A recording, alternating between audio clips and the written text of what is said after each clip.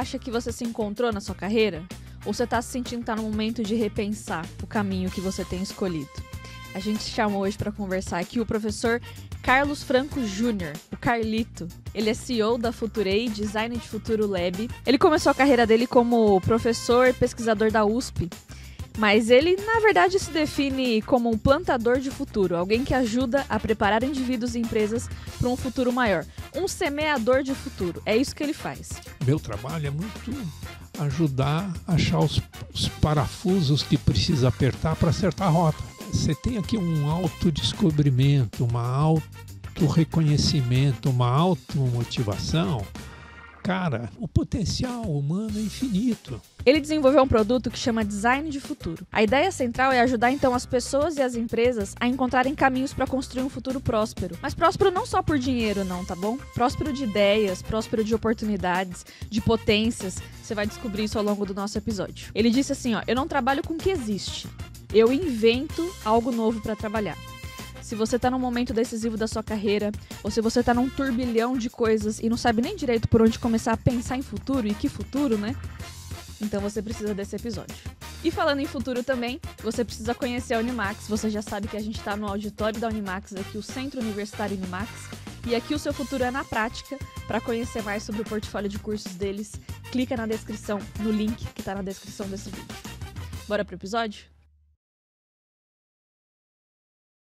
Professor Carlos Franco, seja muito bem-vindo ao Quinto Dia Útil, podcast da Carreira Biller.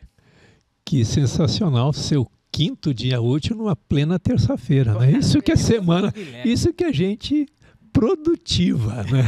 Não é? Aqui dá para ser quinto dia útil todo dia. Todo dia. Esse era o slogan que a gente brincava aqui. O importante aqui é quinto dia útil o dia que você quiser. Tá escutando esse episódio, passa pro próximo, é, depois tá. continua no quinto dia útil. Sensacional. Tem quem não goste, né? O sexto dia eu já não sei. Já, é, o, quinto é ótimo, né? É, é ótimo.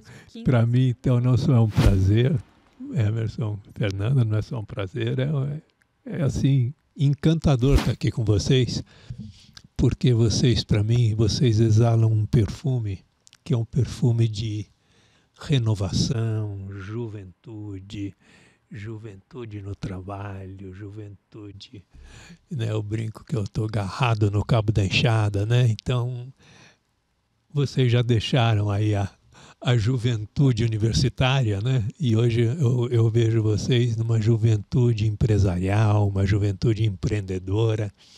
E isso me faz muito bem. Estar tá sentado à mesa com vocês. Tá bom? É uma honra. Que honra. Você sabe que os episódios nossos, depois a Fê faz um resumo e a gente tem um minuto e meio para contar. Então, por isso que a gente tá direto ao ponto aqui. Como é bom uma viagem para os Estados Unidos, nada melhor que 10 horas de voo para a gente conhecer uma pessoa que. 10 horas não, 10 horas não, que quantas horas você dormiu? Não, Dessa... então, e, e, essa é a parte importante, porque se o voo fosse mais curto, nós não nos conheceríamos. Não é.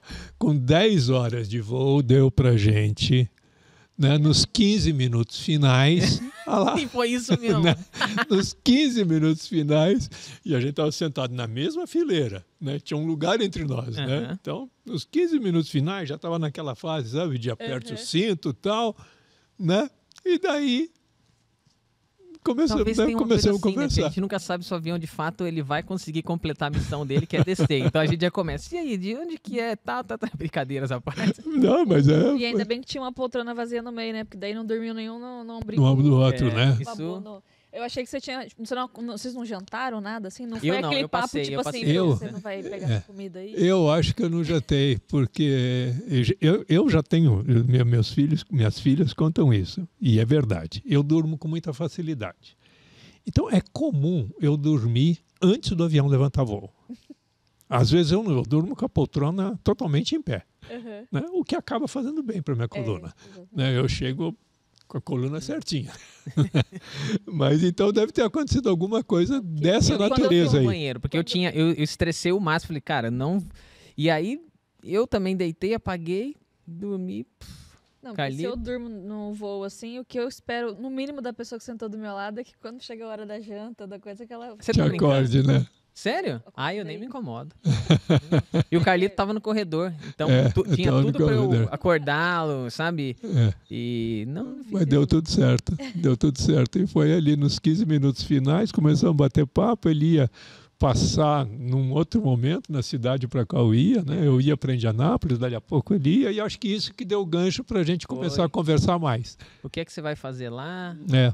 Daí estudar e tal, eu gosto nessa área de eh, estudar e não sei o que, é uma coisa que eu gosto, carreira profissional. Meu negócio é transformação de pessoas. Isso que eu adoro, ser portador de ajudar as pessoas chegarem onde elas querem. Então, eu senti ali que tinha desafios ali para eu aprender do, do, do, do Emerson, do, do, que ele ia fazer, de que ele ia. Tinha um monte de coisa. Você estava animado com o jogo de basquete também, tá, né? Você estava contando com o maior entusiasmo, né? E o Pacers ganhou o jogo e os caras falaram: keep coming, keep coming. O professor é brasileiro, vem pé quente. Os caras falaram: então mantém vindo. Eu falei: ah, pô, aí, aí, já não vai dar, né? Mas foi muito bom. Me patrocina que eu vou. Me patrocina é, que eu venho. É. Pois é. Mas você sabe que. É, é, a gente poder almoçar junto, Carlito, e todo esse papo. Que delícia, cara. Não é, não é sempre que a gente tem na bancada alguém que chega e já diz para qual é o propósito tem antes que a gente te perguntar, cara, o que, que eu tô fazendo nesse mundo aqui? Alguém que tem né, o propósito tão já definido, bem mapeado que é natural falar dele. É, mas olha, é, eu acho que é o fato de ter 65 anos de idade, a gente já acabou achando, né? Deu tempo, né? Pois é, mas que sofre quem tem mais, tem essa idade, às vezes também não se encontrou, não tem? Você que tem, conhece muita tem, gente pela tem, caminhada. Não, e é legal, porque se você pegar minha história, eu, quando minhas filhas casaram-se, né? 2012, 2013, eu tirei um sabático. Falei, agora deixa eu resolver o que, que eu quero fazer o resto da minha vida. Porque é rigor, não que eu fosse nem rico nem pobre, mas já tinha cumprido minha missão, né? Uhum. Tinha escrito livros, ensinado pessoas, transformado, feito um monte de projetos bons e tal, né? As crianças já estavam educadas, né? Eu falei, só que eu tenho um pouco essa história de, de gostar do que eu faço. E daí aconteceu um lance muito interessante, que foi a minha filha mais nova, essa que mora na Suécia, Ana Carolina, ela foi para a área de administração, fez mestrado no exterior e ficou na Suécia, não voltou, se, se fixou profissionalmente lá. E, e, depois casou e tal e tal. Mas daí, conversando no meu sabático, ela falou: pai, dá uma olhada, tenha curiosidade aí de ver o que, que é coaching. Eu falei: como assim, Aninha? Ela falou: pai, dá, dá uma olhada, vê lá o que, que é coaching porque você sempre foi coach, mas você nunca soube. Eu falei, nossa, fiquei curioso, né? E daí fui dar uma olhada, o que que era ser coach, o que que tal. E fez todo sentido para mim. Ela falou, pai, é, era um barato. Quando era, quando estava no, né, no, no ensino médio, era muito comum meus amigos terem dificuldade do que fazer, que carreira escolher, e eles iam conversar com você. Sempre estimulava meus amigos a irem conversar com você, e você ajudou um monte de gente sem saber. Mas você tinha um lance que, que todos, todo mundo conta e é verdade, que você sempre orientava meus amigos fazendo perguntas e nunca dando respostas. E isso aí é coaching. E daí aconteceu isso. Então daí eu fui ver o que era coaching, falei: "Ah, tem sentido. Então tá bom". Uma das universidades que eu organizava em convênios internacionais era a Anderson University, que é do estado de Carolina do Sul. Falei, ó, queria... você tem alguma coisa de coaching? Ah, tá bom, tinha um curso de pós-graduação e tal. Falei, tá bom, deixa eu fazer para fazer um verniz. Entendi o que era coaching, né? Agora eu tenho muita essa inquietação minha, que eu sempre, a minha característica, foi eu nunca trabalho com o que existe eu sempre me desafio em trabalhar com o que não foi criado. Você perguntar qual é a minha genialidade, eu sou aquele cara o inventor, sabe? Uhum. Eu sempre invento alguma moda.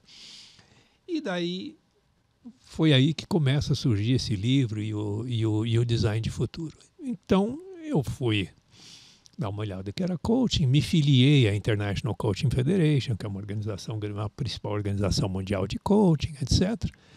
Mas eu nunca me interessei em ser coaching profissional, certificado. Não é, nunca foi isso que me desafiou. Na verdade, eu muito rapidamente eu criei uma metodologia minha que juntava estratégia de um lado, que é o lado da minha formação como doutor, com o coaching, que era muito da minha vivência acadêmica, né? mentoreando alunos, orientando em mestrado, isso aqui formatou bem com coaching. Então isso virou uma metodologia e dali a pouco eu introduzi uma outra perna que é o que está nesse livro aqui, no e-business. E-business. Tá? Esse livro aqui é um, é, um, é um livro de sistemas. Ele foi é, precoce, né? é um livro que tem mais de 20 anos. Né? Eu falava de tecnologia e sistemas de informação aplicado de uma forma sistêmica na empresa como um todo. Então, o que acontece? Da minha vivência de sempre transformação inovação em empresa, sempre eu coloquei inovação e TI como ferramenta de mudança. Então, sempre eu, eu entrava em projetos que a gente desenvolvia, projetos customizados de TI, e transformava, aumentava a produtividade, assim, babá, e, né? e, e, e, e tínhamos sucesso. Dessa vivência de sistemas, isso aqui tomou um desenho legal. Isso aqui, na linguagem de hoje, o que a gente chamava de prototipação, casa muito com design thinking. Uhum. E daí, então, o design de futuro ficou uma metodologia que põe estratégia, design thinking e coaching juntos. E daí eu empacotei como uma, como uma, uma metodologia e falei, ah, cara, agora eu não vou me aposentar, não. agora, agora ficou legal, isso aqui ficou bacana. Só que daí eu fiz um desafio maior. Eu falei, cara, mas tá bom, eu não vou ficar dando MBA pelo mundo afora. Eu vou transformar isso em infoproduto. Então, a gente chega no meu hoje. Então, hoje, quando eu futurei, quando né, eu trabalho como infoproduto, tanto a consultoria mentoriada como a mentoria usando estratégia e marketing nos negócios, basicamente eu estou aplicando a metodologia de design de futuro para construir o futuro de empresas, o futuro de carreiras profissionais para implementação de diferentes profissionais. E daí é onde eu estou hoje, me divertindo com o lançamento, quebrando a cabeça, né? Porque é um universo totalmente diferente. Eu sempre vendi por relacionamento. Meu produto sempre foi um produto de luxo, boutique, caro, que vinha por indicação. Né? E daí eu caí nesse universo da, da internet que, com forma de lançamento, sou mentoriado do Érico Rocha. Né? Então, é um, é um mundo totalmente novo, né? Daí, eu falo, uso a estratégia, a, a, a como é que é, a EZM, né? É, quer dizer, eu sou reconhecido autora, autoridade no offline, com livros publicados, doutor nisso, título naquilo, e na internet quem eu sou? Eu sou um Zé Mané, ninguém me conhece, né? Então, né? então, então esse desafio, todo esse desafio, né? tem me, tem me dado muito gás aí para me encarar essa, esse mundo que vocês vivem plenamente, mas para mim ele requer um monte de adaptações, né? Cara, Sim. mas a internet tá cheia de gente que tem tá falando demais, mas não tem nada para falar. Uhum. E... acho que esses que são os ah, Zé Manés de verdade. É, esse, é verdade. Você não, não se encaixa pelo contrário, aí, não, eu... pelo contrário. Mas é a brincadeira do Carlito, eu, é. eu saquei tua brincadeira, mas você é um cara muito 10, cara. Conta pra mim design futuro, então. O que, que é isso? Mas vamos focar em carreira, vamos focar em indivíduo nessa, nesse primeiro ponto, porque Legal. eu acho que tem muita gente que nos ouve que ou não sabe às vezes para onde está indo, alguns sabem para onde está indo, estão curtindo o caminho que estão uhum. fazendo. É, o que isso tem a ver de fato quando eu falo de um ser humano, saber as combinações que tem, no que ele é melhor, no que não é. Você é o cara para dizer. Eu, eu, quando as pessoas me fazem uma pergunta boa como essa, você tem tempo? Aqui é o que a gente tem, cara. Se existe um, uma pausa na, no tempo, é esse momento agora. Então ele é teu. É, legal.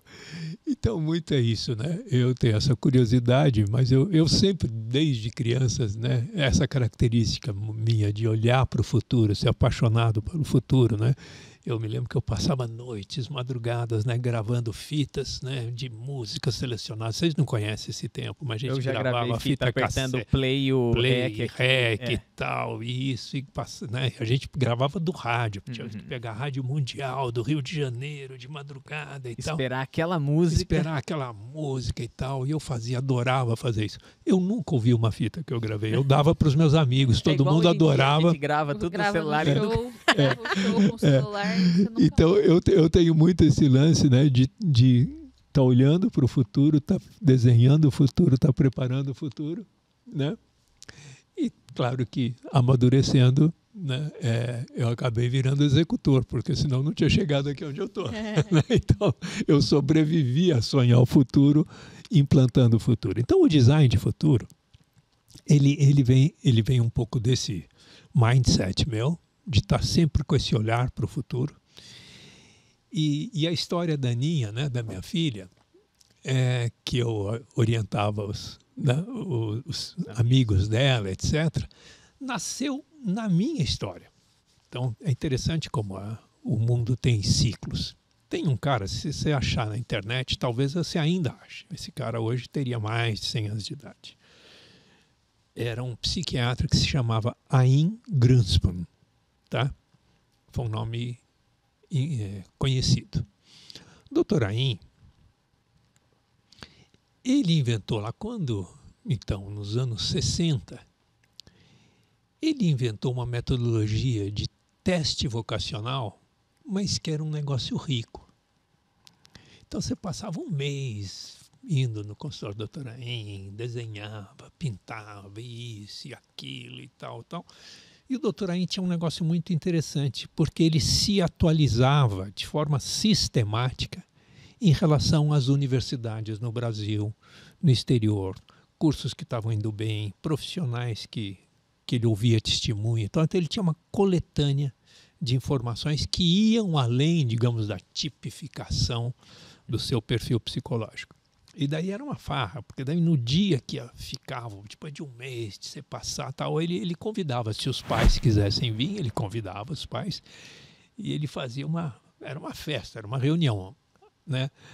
Eu, o, né, o aluno, ele, os pais participando ou não, e ele brincava. Então agora nós vamos escolher qual vai ser seu futuro, né? E assim, de uma forma brincando e tal. E daí ele ia, mostrando, olha, você tem tal característica, você tem isso, você tem um jeito de pensar desse jeito e tal. E daí ele, ele, ele nunca lhe dava uma opção fechada. Ele, no meu caso, ele falou, Carlos, você pode ser médico. Eu falei, doutor Ain, o senhor está maluco. eu, se eu vejo sangue, agulha, eu desmaio. Não, não, mas você seria um médico assim, inventivo. Você seria, você seria o cara que ia inventar máquinas para medicina. Falei, ah, tá bom. Tem, tá bom, pode ser.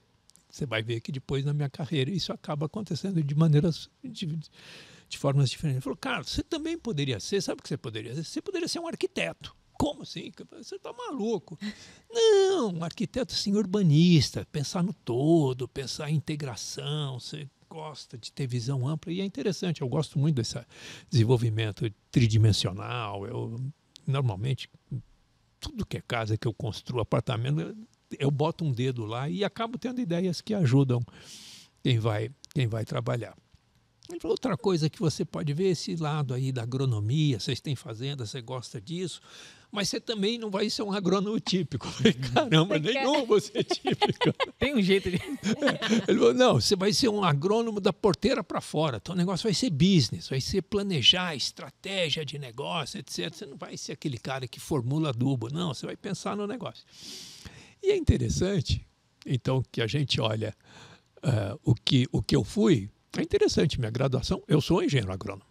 Uhum na Luiz de Queiroz, toda a minha formação, 50% da minha formação é eletiva na área de programação, economia, planejamento. Eu fui para essa área totalmente de business, inclusive programação computacional e coisas assim.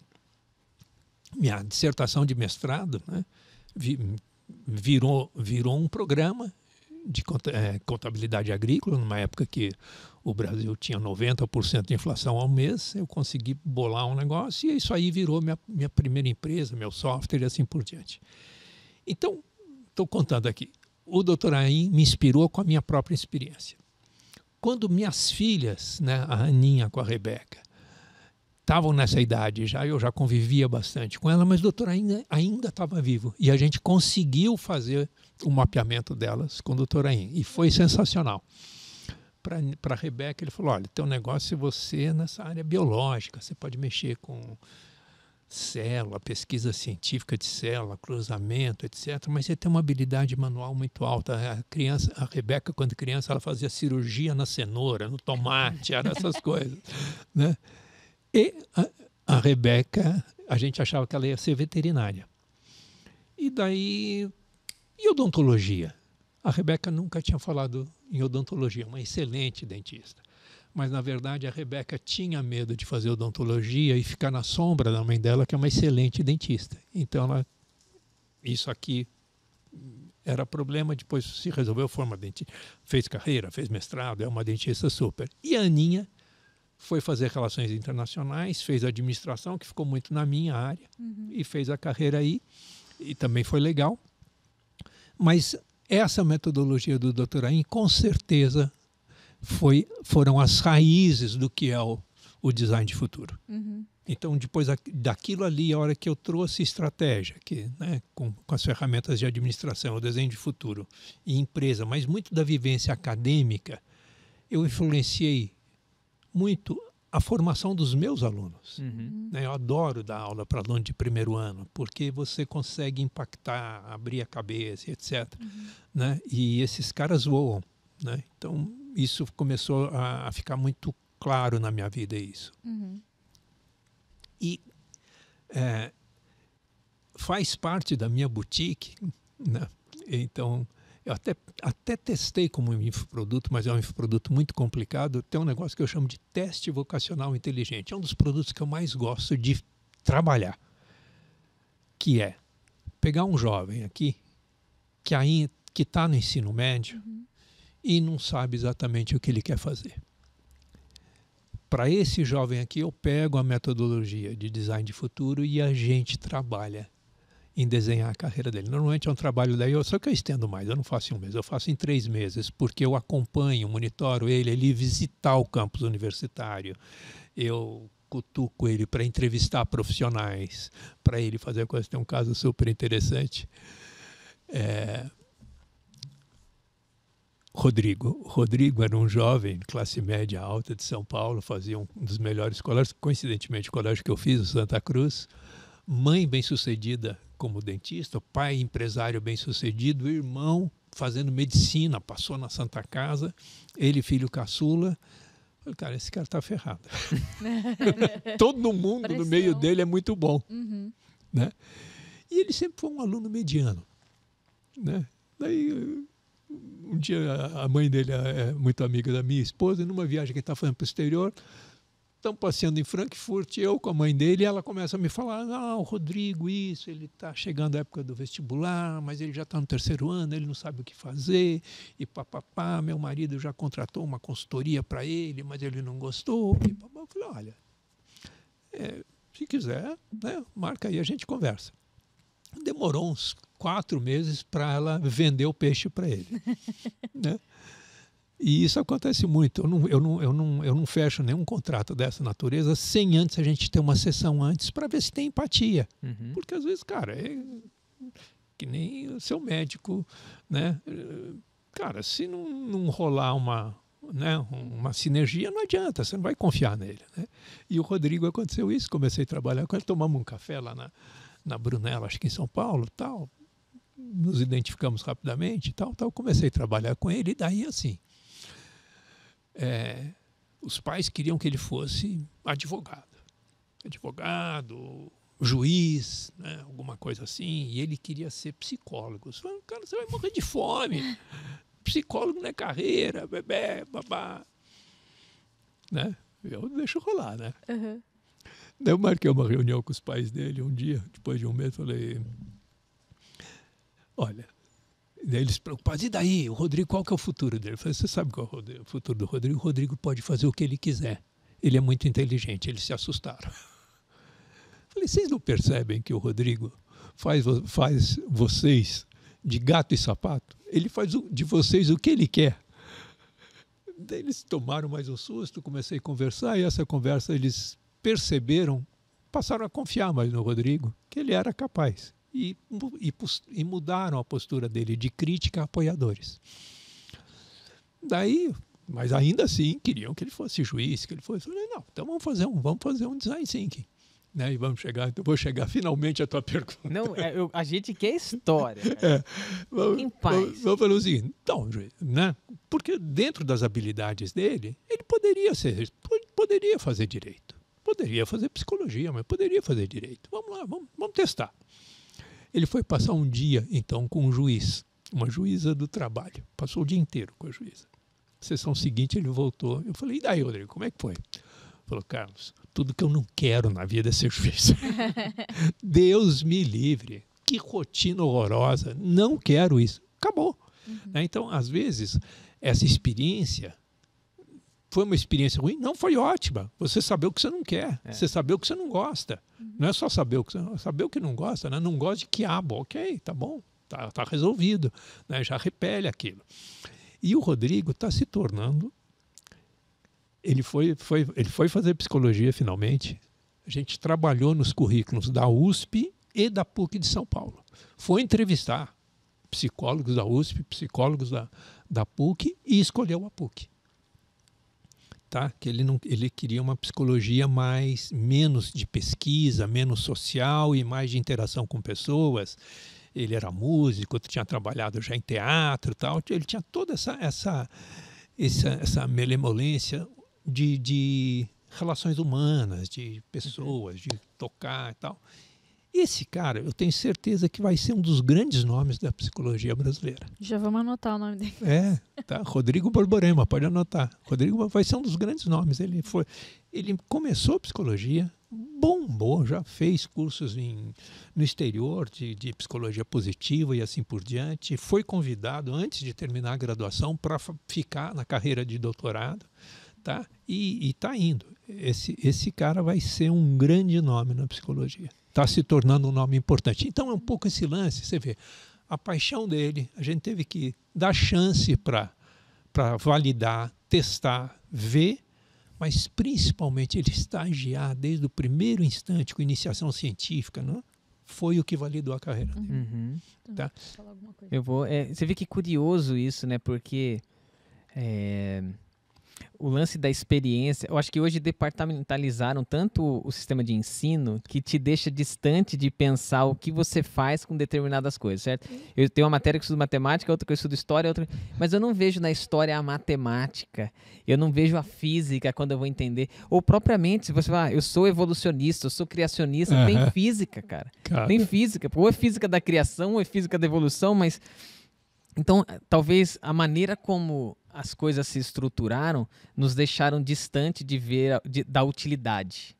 E Com aí, certeza. É, e aí fica difícil às vezes, porque você vê que legal, né? Uma influência por um estilo da família, com as condições que tenho, com a visão do uhum. que pode ser melhor. Cara, seria um tiro. O menino ia fazer direito por cinco anos, ia se matar para concurso, papapá, para falar, não é isso que eu quero. Foi-se dez anos a vida. Exatamente. E só pegando esse gancho, tem, tem, tem um. Né, e assim, por isso que eu, que eu me entusiasmo muito com, com o que eu chamo do teste vocacional inteligente, porque tem uma estatística, no mundo inteiro isso é problema, mas no Brasil isso é terrível. Porque você pega dados do MEC, dados do MEC, dos jovens que fazem Enem.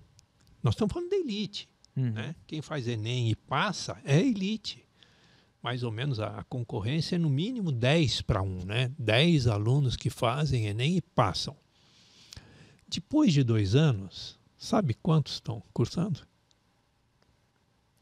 50, dado do MEC, 56% ou trancaram matrícula ou mudaram de curso. Caramba. Porque acabaram descobrindo que não era aquilo que eles queriam. Uhum. Então você acaba gerando um passivo um custo social que é muito mais do que o custo da universidade, é o custo do tempo. Uhum.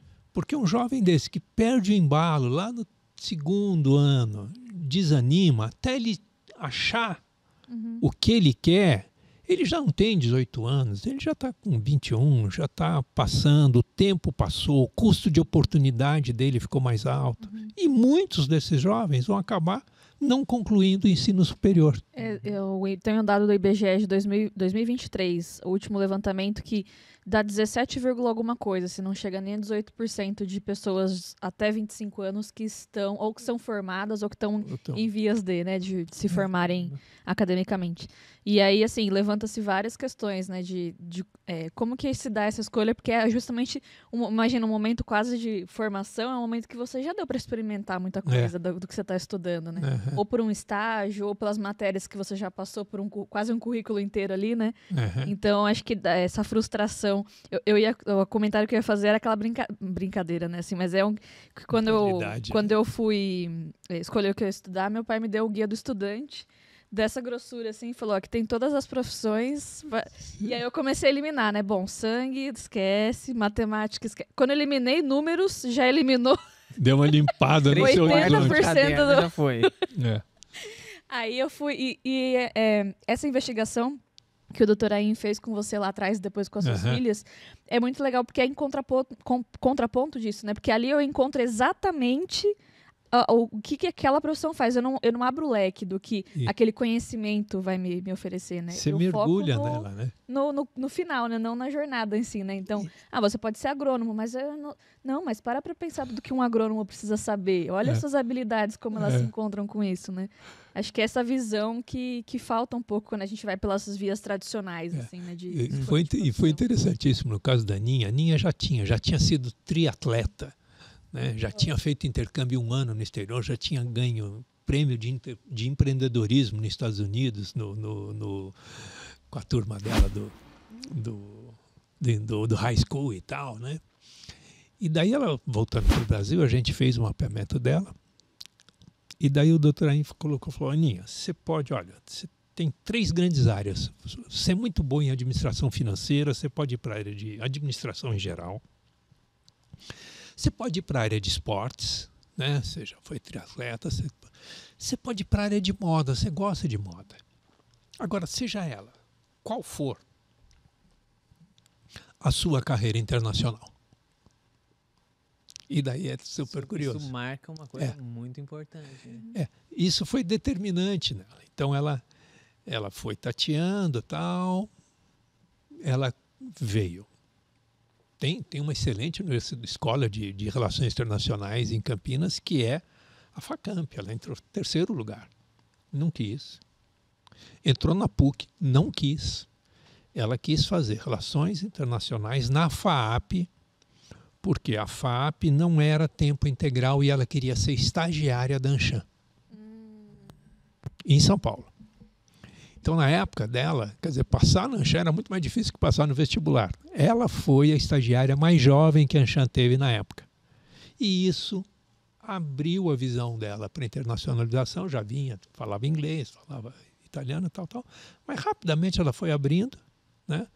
Quando ela se formou, ela já estava ganhando bem, já estava numa, numa, empresa do, do setor de, de, recursos humanos, acho que vocês com certeza conhecem, que a Reis é uma empresa recrutamento. de recrutamento né, britânica tal. Já, né, depois ela me contou isso aí, há 10 anos atrás. Depois que ela me contou, ela falou, pai, sabe, lá na, né, ela trabalhava com o setor financeiro, né, com placement de setor financeiro, ela falou, pai, eu ganhava uns 10 mil por mês. Pô, isso em 2008. Caramba, era dinheiro. ela vinha forte, né? Uhum. Ela conseguiu sair da. Mas daí ela, ela falou, um dia ela colocou assim, terminou, me ligou e falou: pai, seguinte, vê se você topa. Eu falei, pai, eu tô ganhando bem. Você me deu um carro novo, já troquei meu carro, estou morando legal. O meu namorado, o João, está querendo ficar noivo, está querendo casar mas eu estou com 28, 22 anos, eu estou achando que é muito cedo para eu travar minha vida assim, desse jeito. Você, você me apoia eu ir fazer um mestrado na Europa? Eu falei, pô, que legal, Aninha. Topo, sim. Eu falei, pai, eu posso vender o carro que você acabou de me dar? Eu posso vender ele, usar o dinheiro para o meu curso lá? Eu falei, pode, legal, tal. Ela conseguiu negociar na Reis. É, eles demitiram ela né? Ela conseguiu levantar FGTS, tal, tal, tal, tal. Foi, foi para lá. Quando ela, depois que ela fez o mestrado lá na Universidade de Uppsala, ela antes de vir embora, né? Filho, você vai aprender que filho é manhoso, né? Ela falou, pai, antes de eu voltar para o Brasil, era legal fazer um estágio aqui para entender a cultura, como é que funciona e tal. Falei, não, legal, vai, vai lá, né? Eu apoio sempre. Falei, não, bacana, tal. Só que ela teve a sacada legal. Ela viu que a Reis tinha um escritório na Estocolmo. Ela se aplicou para vários estágios, foi selecionada, mas ela foi na Reis. E ela foi lá na Reis e falou, olha, eu queria estágio. Né? Ele falou, nós não temos estágio. Mas, peraí, né? Você trabalhou na Reis? Trabalhei e tal, tal, tal. E dali uns 10 dias eles chamaram ela e falaram, olha, nós falamos com o Brasil. E o pessoal do Brasil falou que você é muito boa. E é que é para a gente criar uma vaga para você. E criaram. Nossa, que moral, hein? criaram. E aí ela te, ligou, ela te ligou e falou assim, pai, estou como? Estou empregada. Esse lance Vai, do... Vou voltar. Então, aquela história de que acabou que... É, é, foi bem isso. E ela ficou, e a partir daí ela ficou e foi. Legal. E daí ela foi escolhendo os empregos dela, trabalhando na Spotify, trabalhando na Microsoft. Hoje ela está num projeto, assim, maravilhoso, né? Que é um é um grupo investidor da Suécia que está investindo na primeira fábrica de aço do mundo com energia verde. Hum. É no norte da Suécia, é um projeto de 6 bilhões de euros para começar. Uhum. Essa aciaria vai estar tá pronta já o ano que vem. Estão contratando duas mil pessoas, ela é da área do, de recrutamento. Mas é um projeto legal, que é produzir aço sem produzir carbono. Caramba. É tudo com hidrogênio. Né? Então, assim, é, é uma nova onda, um negócio super bacana. Ela tá, energia, que é, é tendência, fusão é, nuclear, hidrogênio. É, e aí é hidrogênio, o negócio deles é hidrogênio, então... Então, assim, né? Então você vê, então. o AIN tinha razão, o negócio dela era internacional, uhum. ela se, né, se mostrou uma boa profissional por aí e faz, achou, né? É, é, acho que esse lance, né? Um pouco que eu falo que quando eu, eu tenho meus mentoreados e meus projetos de empresa, que quanto menos eu trabalho, mais sucesso a gente tem. O trabalho nosso, o meu trabalho é muito ajudar a achar os, os, os, os parafusos que precisa apertar para acertar a rota. Uhum. Porque a hora que você tem aqui um autodescobrimento, uma auto-reconhecimento, uma automotivação, cara, a Bíblia diz que nós somos imagem e semelhança de Deus. Cara, você já pensou nisso? Agora olha o entorno aí. Quem criou tudo isso? Uhum. Se você é imagem e semelhança de Deus, quer dizer que você pode, então. Certo? Então, o potencial humano é infinito. É muito grande. Né? Eu falo, cara, se você não está feliz profissionalmente, ou não está feliz com a tua vida, Vamos engatar uma ré aqui achar, porque não só fora isso, né, você pega lá Jeremias 29, 11 e diz que o futuro que Deus sonhou para você é bom. Se o teu presente não está bom, isso aqui é futuro do pretérito. Tem alguma coisa que você sonhou errado aqui no é. passado. Né? Tem alguma coisa que precisa ajustar. Uhum. Porque uhum. Né, não é que a garantia de que tua vida é muito legal, é muito boa. As coisas são maravilhosas. Né? Uhum. E não estou falando do, da Disneyland, eu estou falando que, cara, é, é, muito legal. Foi legal né? você tocar nesse assunto, porque a, uma pergunta que eu ia fazer é é, esse, então, é, é, esse é o cenário ideal, né? Então, eu estou me formando no ensino médio, estou pensando na minha profissão, e aí eu tenho, consigo encontrar um direcionamento como esse, como o que aconteceu, né? Com, com, as histórias que você contou. Mas e se eu já estou, né? É. No, no, no, mercado de trabalho, se eu já investi, às vezes, anos, né? Quase que uma vida num caminho, e eu chego no momento e falo Ih, será que era isso mesmo que eu. Então, então senta que lá vem a história. que é possível, né? Isso que eu gostei é do possível, produto, É isso. Então é assim. É sempre, né? Cara, eu, em vez de aposentar, eu não resolvi me recriar. E eu, eu me recriei com os melhores pedaços de mim. Né? Podia ter combinado de outra maneira. Mas é muito isso, né? Então, sempre é tempo de recomeçar. Cara, não tá legal. Você não precisa jogar nada fora. Mas dá para dar um 360 graus aí, dá uma olhada em tudo, né? E dá dois 360, né? Porque dá um na horizontal e outro na vertical, né? é, quando a gente fala no horizontal, a gente olha aqui o nosso redor no mundo. Quando eu falo dar essa na vertical, né, olha para o passado, olha para frente, olha para o céu, olha para. Dá uma, né, dá uma. Dá uma. Pega as duas dimensões aí, tá? Porque é possível. Então, um pouco de histórias né, que eu faço. Daí é é então, essa história. Né, dizem né, que, o, que um consultor né, ele é que nem um cara que tem um martelo. Né? A partir daquele instante, tudo precisa ser martelado. Né? Então, então, eu uso design de futuro, acho que até para fazer receita de bolo, acho que eu uso design de futuro. Né?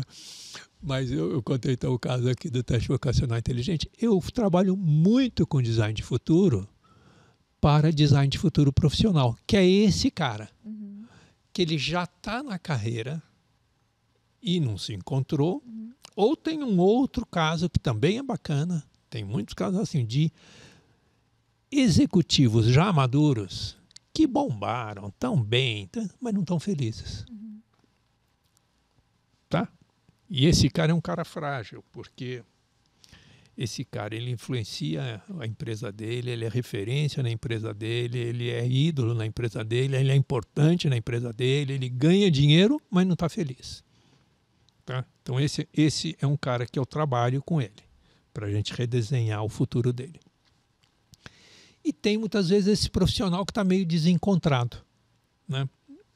Vou contar dois casos para você. Mas eu queria ouvir dos dois, tá? Os dois, tá bom. Contar dos dois perfis. É. Gente, tá bom. Continue. Tá bom. Então vou pegar o caso, vou contar o caso do reencontrar esse cara que já está aspirando aqui um nível alto. Eu vou contar o caso do Marcelo e vou contar o caso da Tatiana. Tatiana, ela era uma excelente recém-formada, ela já estava uns três anos, não era tão recém-formada assim. Ela é formada em design é, industrial, numa, numa universidade grande, excelente aluna. Filha de família, também aquela coisa complicada, né? O pai, uma fera, um cara referência na área de TI, e a mãe, uma referência na área de arquitetura. Profissionais de muito reconhecimento, muito alto nível e prósperos. E a Tati estava nesse meio, fez uma boa formação, mas ela, ela tem uma, uma miscigenação é, japonesa. Né? E ela sempre gostou muito de, do Japão, de, da língua japonesa e ela sonhava, ela aspirava ganhar uma bolsa para estudar no Japão. E ela fez essa bolsa, aplicou para essa bolsa um ano, não ganhou. Aplicou outro ano, não ganhou, mas ela é persistente. Ela falou: ah, Você quer saber? Eu vou fazer um mestrado em letras em língua japonesa na USP. Isso aí vai ser um diferencial. A hora que eu aplicar, eles vão considerar isso. E ela fez, dois anos, fez o mestrado em língua japonesa na USP, etc. Aplicou ano seguinte, não passou. Aplicou ano seguinte, passou, mas veio a pandemia. E fechou o, o intercâmbio, o envio de, de estudantes para o exterior. E daí ela não estava curtindo a parte de design, ela gostava de japonês, tinha uma formação, ela começou a dar aula para escola de, de línguas. Uhum. Escola de idiomas. Tem aí Red Balloon. Né? Pegou uma dessas escolas e começou a dar aula de japonês.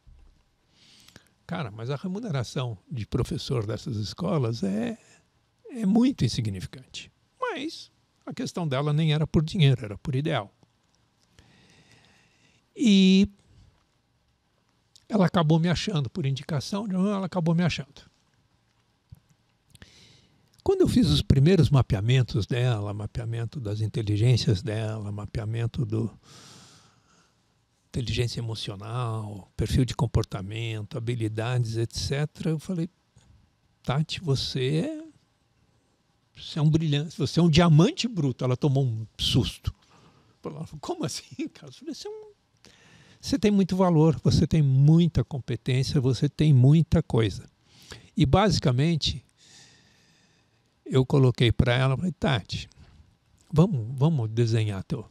Onde você quer trabalhar?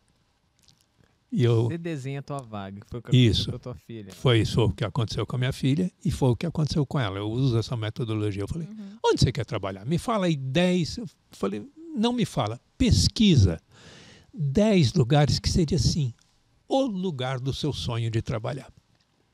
E daí nessa mesma pesquisa, pesquisa, tá. Agora vai lá, pesquisa quais são os valores dessas, dessas empresas. Pesquisou? Pesquisou. Verifica se é verdade esses valores mesmo, ou se é só discurso. Vai, vai peneirando. Tá bom, agora vê se esses valores batem com os seus valores. Batem. Então, aquela peneira que era 10, virou 8, virou 7, legal. Sobraram essas aqui. Esses lugares você gostaria de trabalhar, então, porque tem identidade de valor, é legal, o propósito da empresa bate com o seu, né? Então, o que precisa é o seu futuro que o da empresa baterem. E daí eu uso uma, método, uma metodologia é acha pelo LinkedIn ou por onde for, no caso ela tinha LinkedIn Premium, acha o cara mais alto do relacionamento que você conseguir dessas empresas. Legal. Falei, então agora você não vai mandar teu currículo. Você vai escrever uma cover letter, você vai escrever uma carta bem escritinha com quatro parágrafos, tá?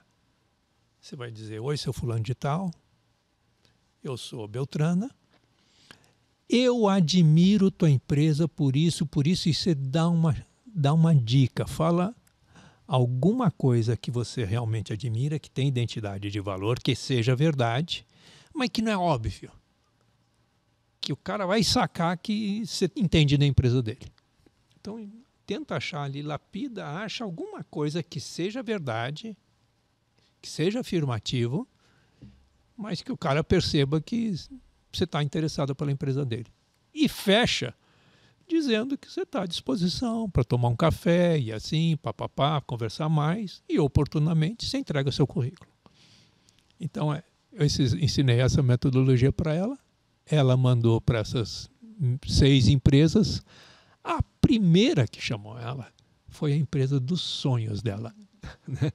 Eu não sei o nome da empresa, mas é ela foi contratada para fazer o texto, né, a tradução de, de japonês para português, que usa os mangá e aquelas coisas, né, do principal é, locutor dessa época, que é, o, que é a voz do Bob Esponja. Né? Então, é o dono dessa empresa. Ela foi trabalhar, ela virou assessora direta dele.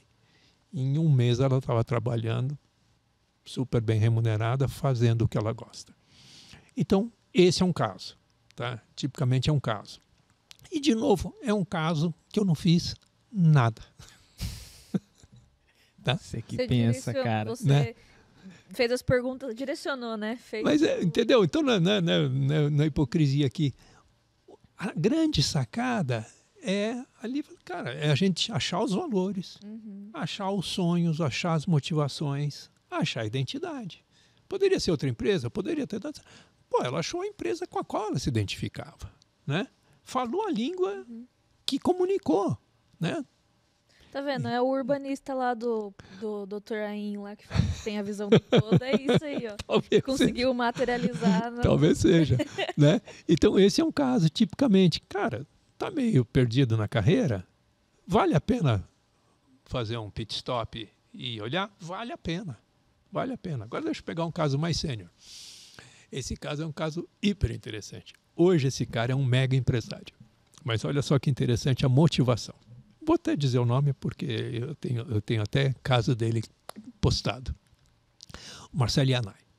Marcelo, hoje deve estar com uns 40 e poucos anos, mas o Marcelo é um engenheiro de sucesso. Tá? Ele fez engenharia na Unesp, vem de família classe média alta de São Paulo, estudou no Colégio Bandeirantes, teve boa formação, passou no vestibular, né? entrou para o mercado de trabalho, trabalhava numa das grandes empreiteiras brasileiras, tá? E como o caso é público, eu posso até contar o caso. Ele trabalhava na Aldebrecht. Aldebrecht, antes do escândalo do Aldebrecht, Aldebrecht sempre foi uma referência em formação de profissionais competentes na área de engenharia. Ela, a Odebrecht tinha um método de gestão de obras maravilhoso. A Odebrecht era uma escola. E o Marcelo era um caso de sucesso da Odebrecht, uma carreira sólida, ganhava bem, 13 terceiro, 14 quarto, 15 quinto, e ele estava começando a aspirar um C-level. Até que aflorou a Lava Jato. Quando aflorou a Lava Jato,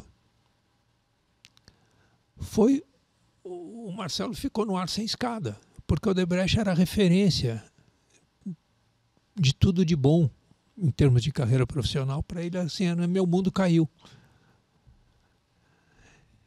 Para você ter ideia, quem me encaminhou, o Marcelo, foi o psicólogo dele, porque isso abalou ele emocionalmente. Ele falou, cara, e agora? Né? E quando ele foi me procurar, o próprio psicólogo falou, olha, o Marcelo é um caso que ele quer se recolocar no mercado de trabalho. Então ele precisa de uma mentoria aí para ver como é que ele se comporta em entrevista, isso, como é que ele se coloca. Chegou com um pedidinho desse tamanho. Você falou, tá bom, entendi. Vem. eu falei, legal, tá bom. Eu já sou cheio de segundas intenções. Na hora que o Marcelo chegou, olha, eu queria isso. Eu falei, não, Marcelo, vamos, vamos fazer isso, sim. Mas, Marcelo, vamos fazer isso. Só que eu preciso te mapear. Eu vou precisar aí de uns umas quatro sessões para a gente mapear suas inteligências, mapear teu jeito, mapear tuas habilidades. Eu vou precisar te mapear para a gente até, né, para você se vender. Legal? Não, legal, então vamos. E comecei a mapear, e eu vi Marcelo mapeando. Né? Chegou mais ou menos, foi na quarta semana. Eu tinha um evento nos Estados Unidos, então eu não ia estar na semana seguinte aqui no Brasil. Falei, Marcelo, nós vamos combinar o seguinte: eu vou te dar uma lição de casa maior. Tá?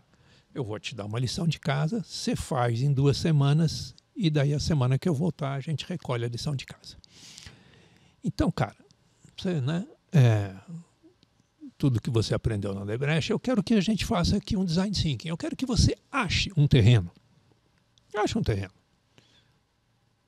Para a gente fazer um projeto de incorporação de um imóvel. Tá? Só para a gente testar, ver como é que funciona tal. Topa? Não, topo. Tem lá, lá em Jaguariúna, tem. Eu vou achar tal. Então, beleza. Eu quero que você experimente um projeto de incorporação. Voltei depois de duas semanas. Chegou Marcelo com a bolsa dele, abriu a bolsa, abriu o computador, me mostrou uma planta 3D da maquete eletrônica do prédio que ele bolou ali.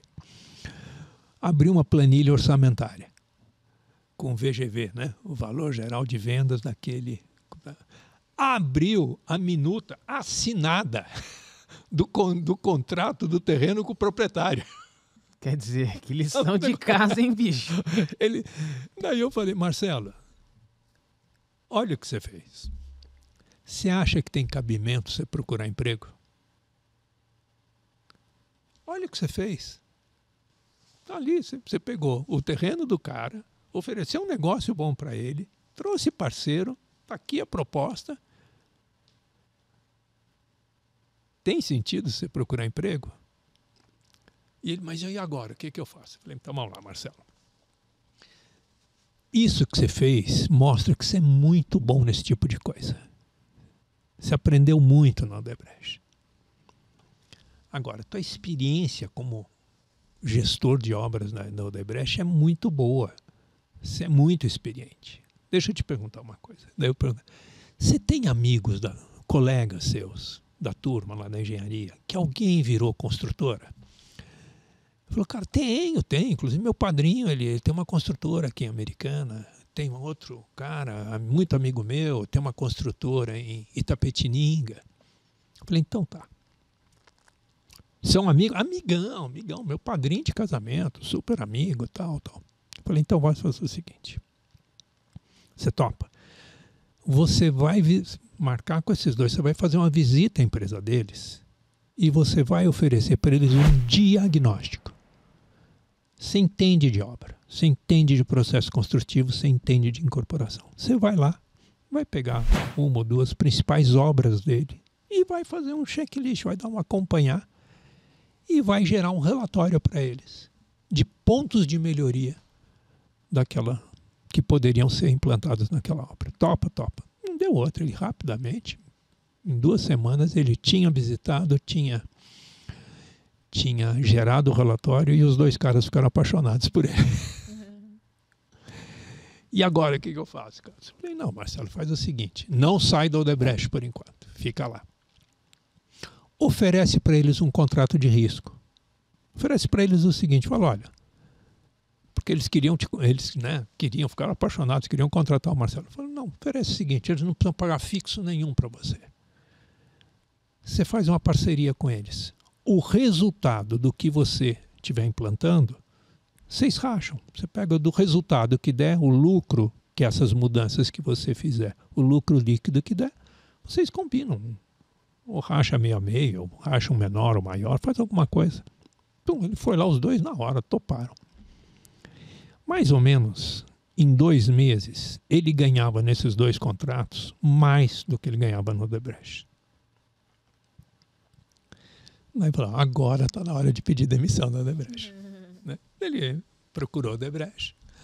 Né? O Odebrecht já estava naquela fase de tendo que se reorganizar. Facilitou tudo para ele, só pediu, falou, Marcelo, a gente precisava que você preparasse teu sucessor. Teu sucessor tá? A gente precisa de um mês, mês e meio, você topa? Não, top, tal. Ele preparou o sucessor. Tal. Hoje, Tá? Nada foi fácil, não foi instantâneo, ele não ficou bilionário no mês seguinte. Mas hoje o Marcelo tem três empresas, duas já estão ficando grandes. Uma dessas construtoras era uma empresa familiar, que era uma construtora incorporadora na região de Americana. Então o colega dele, que era um dos sócios, falou: vamos abrir uma para a região de Jaguariúna que não concorre com a minha.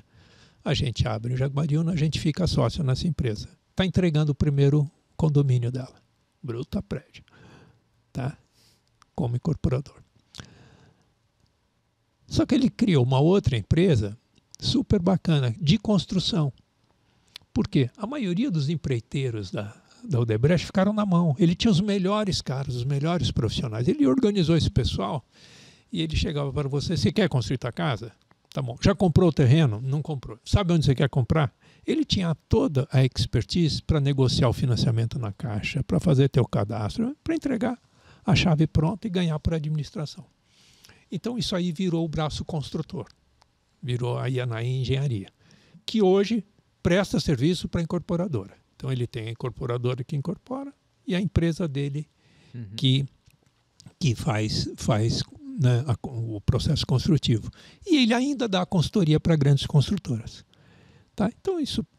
Mas hoje esse cara está feliz da vida, porque ele não só prosperou, né? mas tem liberdade, tem autonomia, baita profissional, tem excesso de demanda, né? E hoje o, o, o que a gente às vezes ele me chama é alguma consultoria para trabalhar na organização, na estratégia da empresa dele.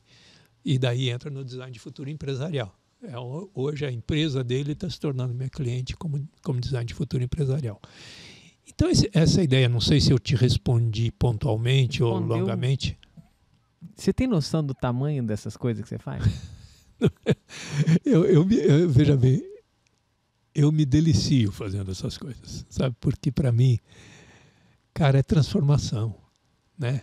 É, é um coração triste para um coração batendo né? Uhum. Para um coração feliz cantando. E isso é bom demais, né? Então isso, isso assim, cara, me dá uma alegria sem medida. Uhum. Né? Teu olho até enche de água, assim. É. é, mas acho que sim, é emocionante, é. né? É emocionante. É, é mais do que né? É tão quanto bom ver a transformação dos netos, né? Das crianças crescerem. Mas você vê um caso, esses dois casos, você fala, cara, a Tati hoje é doutora em um ambiente legal pra caramba, né? Em engenharia e design.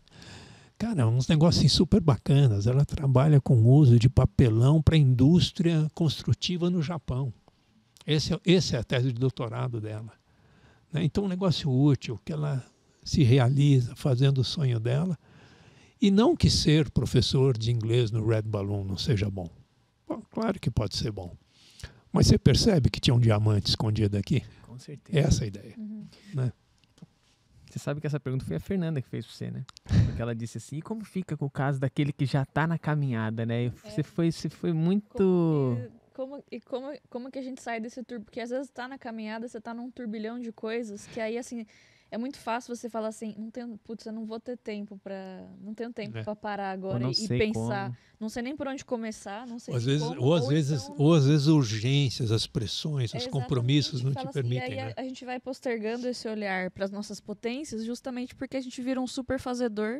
É. E não consegue transpor um muro, assim, né? Porque numa carreira profissional existe, quando você pensa num crescimento, e aí, assim, muito além de cargos, né?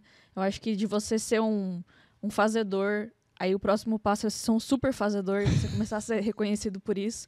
E aí tem um muro, que você pode morrer nesse muro e virar um é. super fazedor para sempre, porque é muito difícil transpor. Travou ali, né? Ou você começa a virar um influenciador, alguém que as pessoas vão te procurar para ouvir conselhos, para uhum. ouvir direcionamento, alguém que vai direcionar os outros também dentro da sua, do seu próprio cargo, né? Não só porque as pessoas te procuram para isso.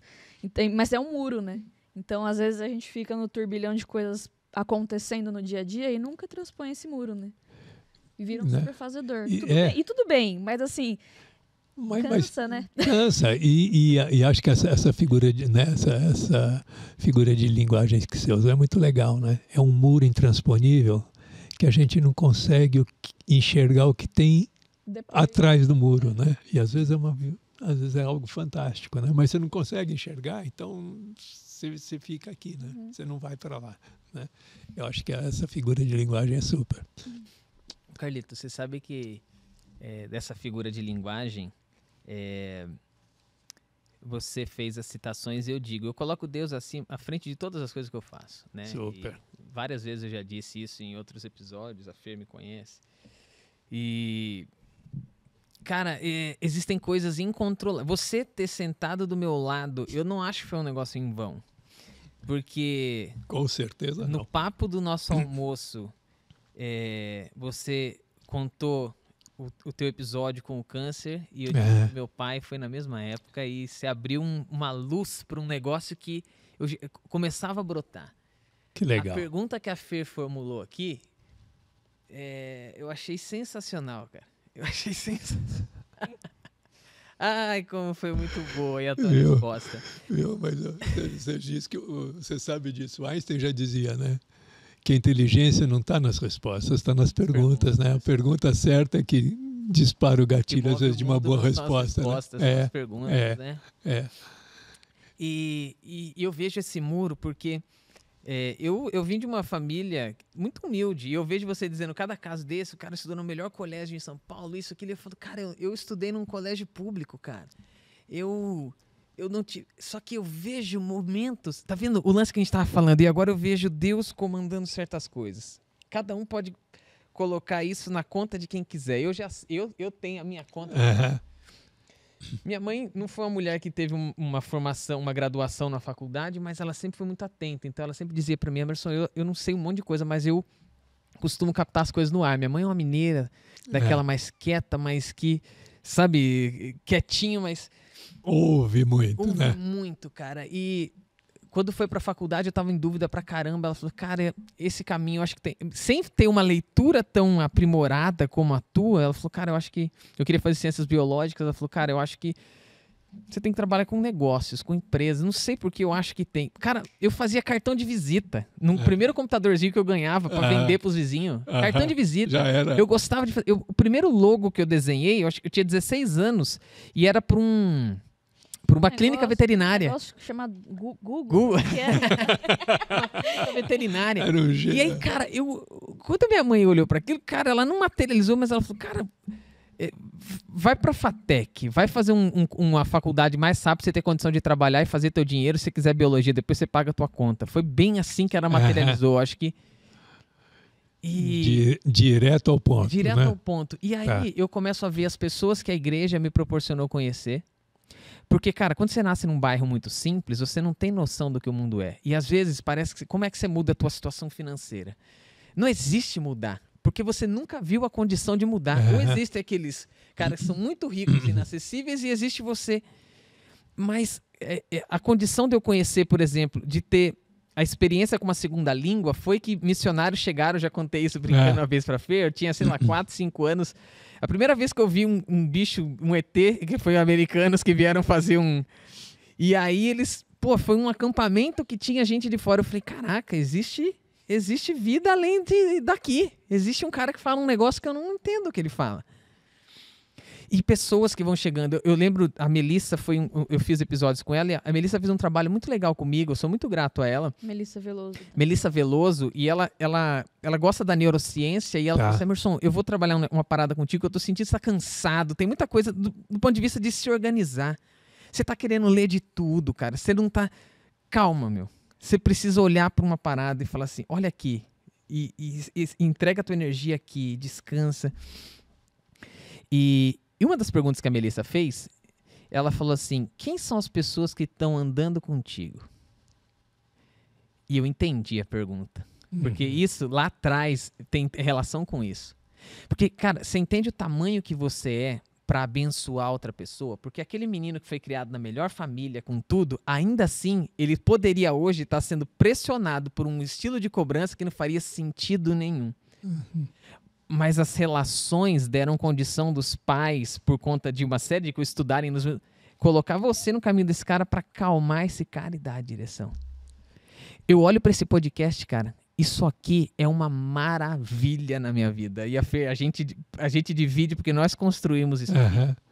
Óbvio assim, eu não estou dizendo que é a empresa. A empresa está por trás de patrocínio, é. mas tem muita energia nossa nisso. E eu falo assim, cara, que esse episódio não tenha audiência. Mudou a minha vida. Me fe... Eu entrei um Emerson aqui e saí outro cara. Que benção, que bom. E, e é exatamente isso, uhum. cara. Todo episódio tem a condição de fazer isso. E alguns têm a condição de te pegar naquele momento. A Fer sabe disso, já teve várias conversas que eu chegava a dividir alguns anseios e sentava um cara na minha frente e eu falava, e ela falava: "Caraca, hein, meu?" Tipo, Toma essa aí. Toma essa. Você tava precisando ouvir isso. Que legal, né? que legal. E, e, eu vejo no teu trabalho algo fantástico. Como é que as pessoas acessam você para conseguir isso? É, é, acessível ou isso Não, é só acessível, só acessível. Só para você ter ideia, só pegando. Eu vou, cara, eu, tem tempo, né? Deixa eu, ah, esse adorei, episódio adorei, não tem você, tempo, adorei o que você falou. Limite. Olha só, lá no Nordeste, o que está acontecendo? Olha que lindo. E eu estou me inspirando aqui, está me motivando a compartilhar isso. Quando você falou, fui para um acampamento, eu moleque, né? Tinha missionário americano. Uhum. Então tá esse projeto que a gente tem no sertão da Paraíba. Estou lá em Piancó, você pode olhar aí no, no mapa. Piancó está a 500 quilômetros da costa. Caramba. Tá? É o fim da Paraíba com o fim de Pernambuco com o fim do Ceará. Junta tá? as três pontas. Junta as três pontas, você anda mais um pouquinho, você chega em Serra Talhada, onde o Lampião se escondia. É ali. Uhum. Então é o fim do fim do fim. Tá? Bom, uma cidade de 16 mil habitantes. Não tem cursinho. Eu comecei a trabalhar com design de futuro, né, com teste vocacional inteligente, com os jovens de lá. Né? Então fazia, faço uma vez por ano, faço junto uma turma, um cohort, e trabalho com eles nessa questão vocacional. Olha que bacana. Os caras são do interior da Paraíba, de uma cidade de 16 mil habitantes que não tem cursinho.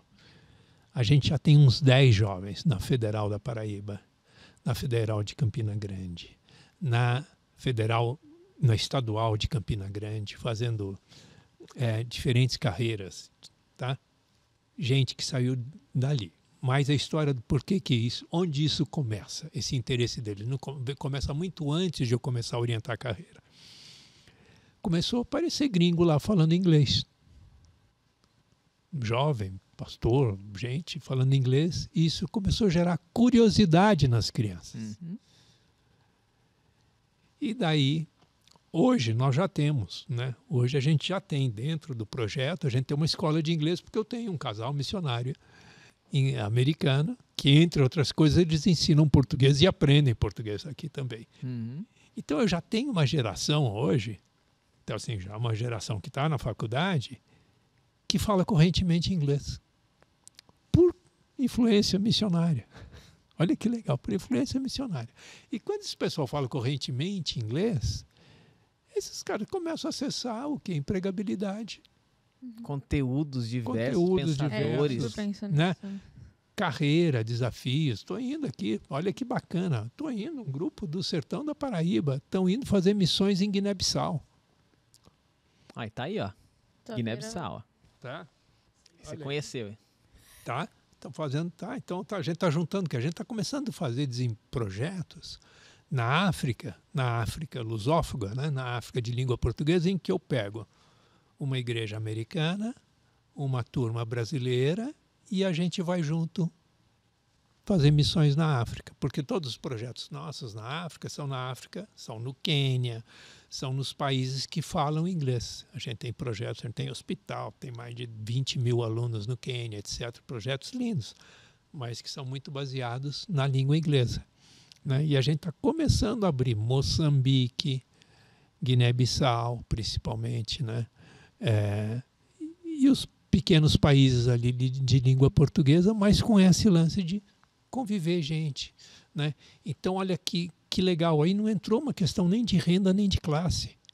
Eu estou pegando gente do sertão da Paraíba, que você aqui em Dayatuba, né, numa escola pública, você está anos luz, anos.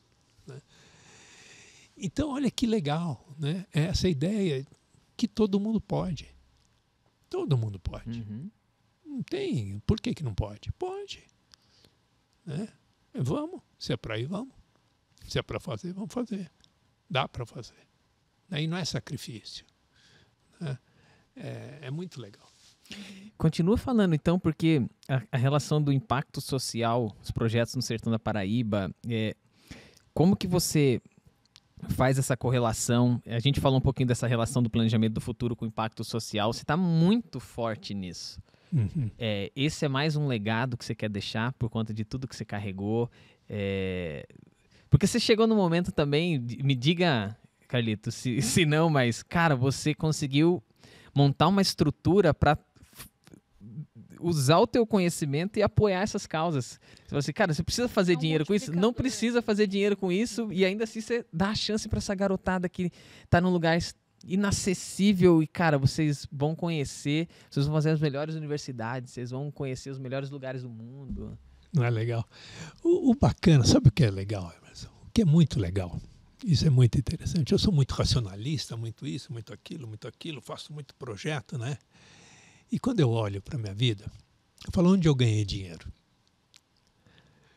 Eu aprendi, é tão curioso isso, eu aprendi que onde eu tinha certeza que eu ia ganhar dinheiro, não é onde eu ganhei dinheiro. E onde eu ganhei dinheiro? Trabalhei, investi, mas foi onde Deus me abençoou. Trabalhei do mesmo jeito, trabalhei, mas Deus me abençoou. Deus me pegou e falou: peraí, você está se achando muita coisa, né? Ele me pega do nada, um projeto do nada, né? Um projeto que era para ser minha, minha casa de verão. Ele transforma em business e multiplica. Tá? Eu trabalhei, eu racionalizei, eu me esforcei do mesmo jeito. Mas não é aquilo que eu elegi que seria o, nossa, grande sacada. Não, eu não prosperei com a grande sacada. Eu não estou querendo detonar ninguém aqui. Isso aqui para mim foi muito útil, muito útil. É, para aprender dois aspectos. Né? Hoje eu tenho mais do que nunca uma consciência que minha vida está nas mãos de Deus. Minha saúde, tudo, né? os livramentos, Deus cuidando. Agora, hoje, mais do que nunca, eu tenho a consciência também que os meus negócios estão na mão de Deus, cara. Aí Deus, não, cara, eu trabalho, tá bom, mas ajusta o ouvido, conversa com Deus antes de investir, ajusta os planos, pede sinais, vai mais fundo, não sai se achando o rei da cocada, cara, você vai quebrar a cara.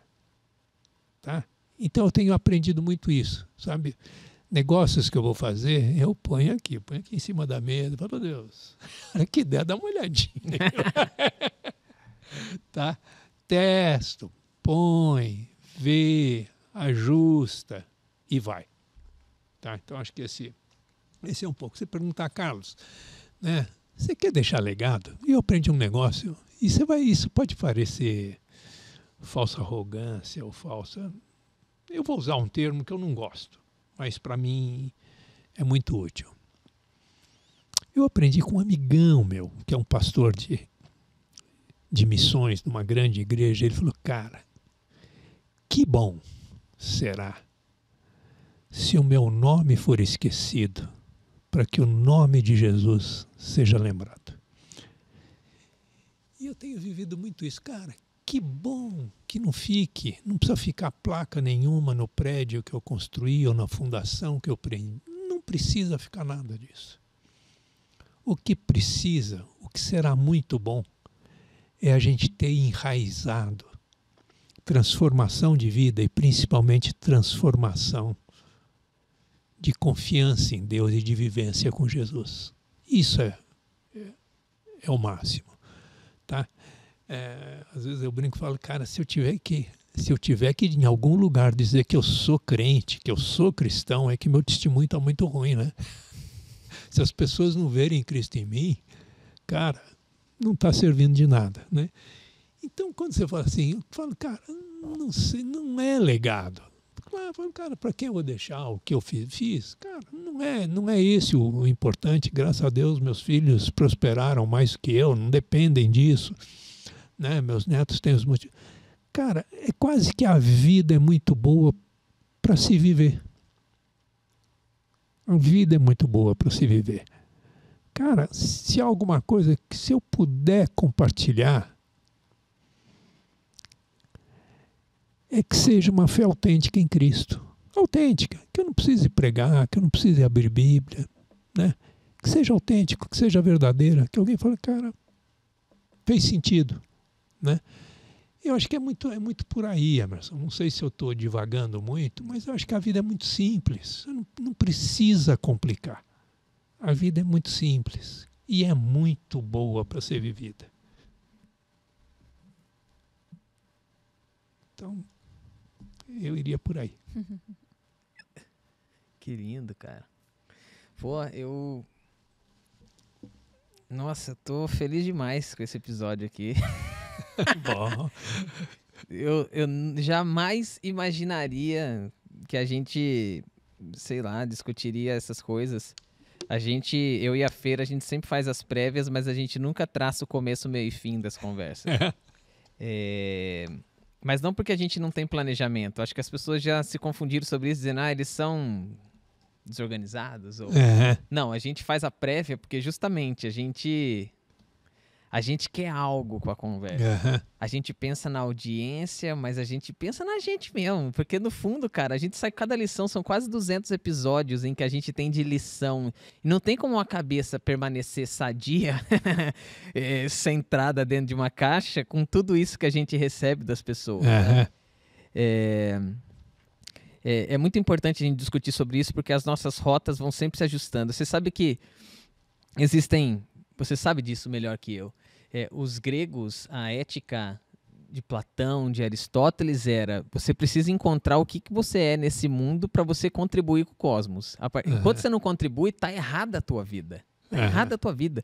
Então, cara, se você nasceu para ser jogador de futebol e você tá fazendo é, entrevista em podcast, você não está contribuindo para o cosmos, né? Uhum. Ah, o ponto é que Deus também nos cria sujeito um diferente do outro. E ele diz assim: quase que o, o resultado final não é se encontrar para fazer isso girar, mas é se encontrar porque com vocês eu, eu tenho o meu projeto. E é o que você disse. Emerson, não é sobre o meu legado, é o projeto que Deus escolhe para fazer. Porque, cara, uhum. quando você coloca na mesa e eu, eu partilho disso, é, você dá a, a Deus a condição de falar: eu sou dependente, me diga qual o projeto que é relevante. Não é? Nenhum desses pode ser relevante. Ou esse pode ser. Então, você vai me usar até a certo ponto e vai encaixar outras pessoas. Não só é. isso também, né? E é, o chamado de Deus para o trabalho, né? Que é, é em Gênesis ele já ensinou a gente como trabalhar, né? então, assim, já não. Se você nunca leu nada da Bíblia, mas você leu ali o começo, de, saiba que ali já tem já tá, uma então, lição sobre trabalho. O seja, tá ali, né? pra onde você fugir. Em qualquer campo da sua vida, você vai precisar, de alguma forma, lidar com o trabalho de forma saudável. E, e eu acho que tem um ensinamento muito grande aí também como Deus conduziu isso e deixou pra gente de lição, como que a gente tem que olhar para o nosso trabalho e o fruto dele, né? É. Então, ser jardineiro, que tem tudo a ver com ser agrônomo, e semeador de futuro. Então, é. acho que assim, você tá. Não sei dizer, mas eu tô achando que você tá no caminho bom, viu? Hoje me pergunto, mas cara, você é agrônomo? Eu falo, sou. O que, que você faz? Planto futuro. faz é sentido, cara. Então, então é isso, cara. É interessante como a vida ela nos proporciona fazer isso, sair colhendo as melhores experiências. Uhum. Né? E, re, e, e ressignificando elas. Né? Quando eu falo eu planto futuro, né? e sou agrônomo, mas como assim? Né? É, é ressignificado. Mas é de algo que eu conheço. É de algo que eu sempre fiz. Plantei café, plantei isso, plantei aquilo. Sim, planto futuro. Mas como? Mas... Sim, é isso. A gente escolhe a semente, semeia, cuida e cresce e dá fruto. E assim é na vida das pessoas. Né? Cada caso que a gente conta aqui não tem? Né? Foi, foi quase que tirar o mato lá da vida do Marcelo, não foi? Ou tirar, separar o, o joio do trigo da vida de um e do outro, achar, falar, ó, fica com essa semente, essa aqui você não deixa para depois, né? É, sim, eu continuo sendo agrônomo, né? uhum. né? E me sinto bem assim, sou, né? Tenho orgulho do que faço. Mas é muito legal, acho que é muito isso, né? É, é, a vida é muito boa. Acho que se for, se, o, se eu falar assim, Carlos, em uma frase vai para concluir, fala, cara, a vida é muito boa, não desperdice a vida não. A vida é muito boa, né? Se você tivesse no programa do Abu Janra, provocações lá, ele fala, o que é a vida? Aí você já começa, a vida é muito simples, cara. E a vida é muito boa. Muito bom. Pronto. Então, antes da gente ir, não dá para essa aqui a gente pode, a gente tem que ter mais, cara. Me fala sobre a parte empresarial de futuro. Como é que você estrutura isso? Legal. Então assim, quiser me achar, você vai achar futurei.com.br, você me acha. Nós vamos colocar na descrição do vídeo tá, também. Você vai achar. Ali você vai achar Futuro Milionário Negócio, você vai me achar. Você vai me achar no é, Meu Sócio é Deus. Né? Então eu, eu vou estar tá trafegando em torno de Futurei. Você vai, você vai me achar aí em redes sociais e coisas desse, desse tipo. Mas esse desafio mesmo no meu sócio é Deus é, é testar se faz sentido a gente falar de experiência com Deus para quem quer Deus na, na sua vida, né? É isso que eu. Você quer Deus na sua vida, nos seus negócios? Mas não é um cara que quer ir na igreja, não é um cara que. Ele quer Deus, tá bom, quer que ele entre pela internet, vai. Vamos ver se ele, se ele. Será que bate a porta em algum lugar? Mas daí começa a surgir algumas coisas interessantes. É o perfil meu do Instagram, ele, ele assim, ele tem a maior taxa de número de novos seguidores por publicação e é, uma, é o perfil que tem mais engajamento. E, e principalmente nesse perfil, eu não sou doutor em administração, eu não sou autor de livro, eu não sou nada. Eu conto das minhas experiências com Deus, eu conto, conto muito de gratidão. E é interessante como isso gera identificação. Eu recebo muita mensagem assim de, puxa, que legal, não tinha pensado isso. Puxa, mas é mesmo, é simples. Puxa, coisas desse tipo.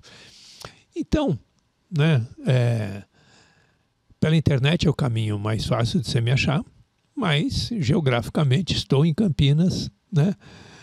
Se você puder não me chamar para dar uma consultoria na tua empresa na China, eu vou te agradecer, tá? Ou que eu possa ir por Zoom, tá? Porque eu adoro. Hoje eu adoro estar com os meus netos, estar em casa, ter minha rotina diária, mas a gente anda pelo mundo também né, acaba andando pelo mundo também, mas é muito é um negócio muito legal da, da do que eu chamaria da produtividade da era que nós vivemos, é. né? Hoje eu uso inteligência artificial aumentando minha produtividade de criação. Né? Hoje eh, a gente usa as, as, ferramentas de comunicação da internet entregando conteúdos. Hoje eu entrego um MBA pela internet com alta qualidade, né? com personalização de produto e tudo mais. Isso aumenta muito minha produtividade, porque ao longo da minha vida era pegar um avião cedo, sair de casa terça cedo, voltar quinta noite ou sexta, né? Uhum. Dormir em hotel, isso e aquilo.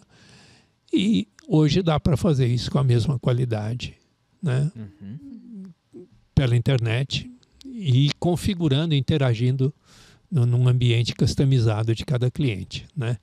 É, então, eu acho que isso é uma característica legal do que a gente tem.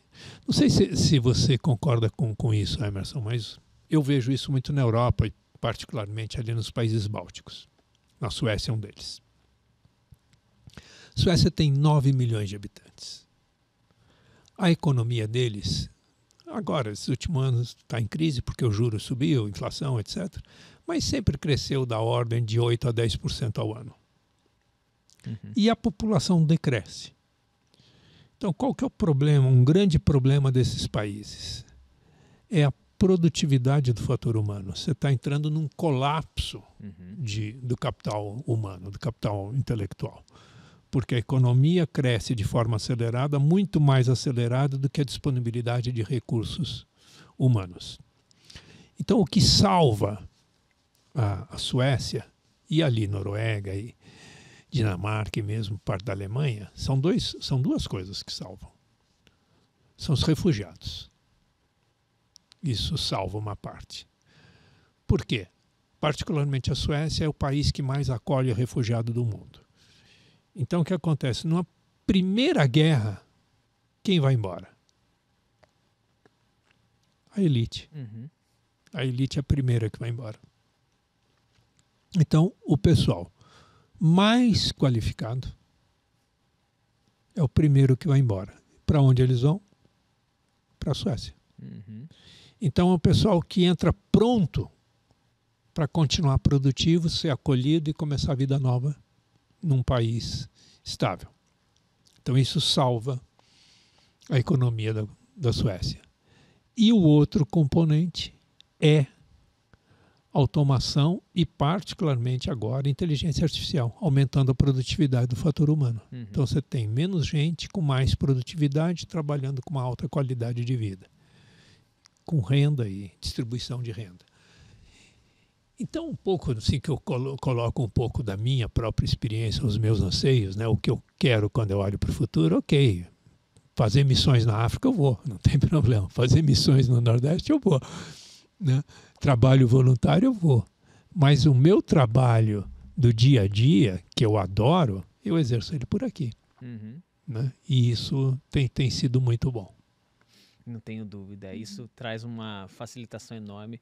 É, o colapso mundial com relação a as taxas de natalidade, isso realmente já está acontecendo. As pessoas não querem mais ter filhos.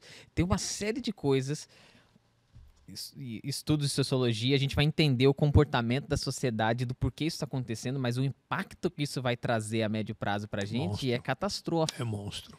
Então, quando a gente olha para a inteligência artificial dando condições de produtividade, ela vai suprir parte disso que está acontecendo, mas ainda assim a renovação da população, talvez, talvez não, atingimos acho que o ápice de pessoas no planeta com o número que a gente tem agora, 9 a 8 é. bilhões. É, só que a gente vai sofrer por isso, principalmente países pobres. Porque quando você é um país rico e você tem mais velhos do que crianças, você ainda se sustenta, você ainda dá condição do povo.